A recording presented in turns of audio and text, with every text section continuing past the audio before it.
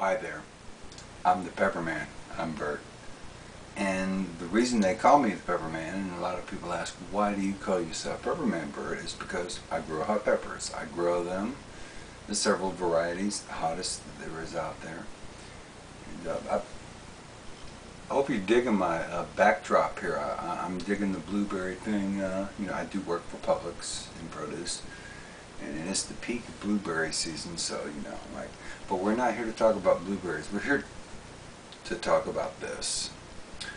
This is a 95% dried bhut jolokia hot pepper. Now, this pepper is considered to be the hottest in the world on the Scoville scale. On the Scoville scale, uh, a habanero ranks at like 350,000 and this ranks at about a million. And I'm going to eat it. But the thing about eating this is I'm not really excited about doing this because I've done this before and I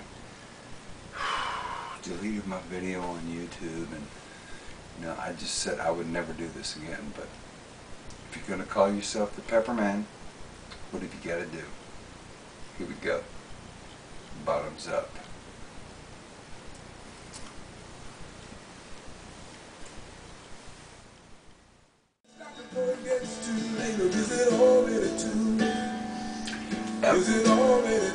Right now, it's not too hot. It's dry. But as I'm chewing it now, the heat is really starting to kick in. I wish I had a blueberry right now, like a handful of this hot pepper. It's extremely, it's getting extremely hot. Right now it's like not only is it burning the crap out of me, it's, uh, it feels like it's clogging my throat up. It's getting, it's getting hard to breathe.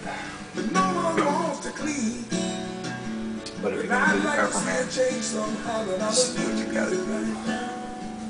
Just a little busy But,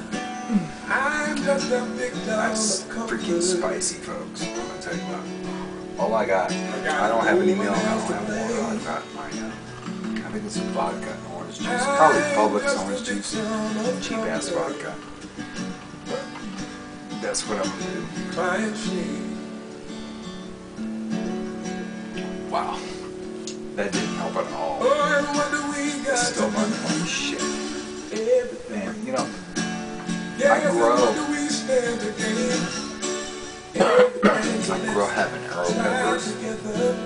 I eat them all. I mean, I don't, I don't eat hot peppers off the plant. I need to be some kind of badass. I eat them with food. This is, uh, I think, this thing is freaking off the charts. Off the charts. I mean, I love the smell. Love the smell. Mm. The Bhut Jolokia. Wow. Got no one else to blame. Take a look. I'm just That's pure heat. That's pure death.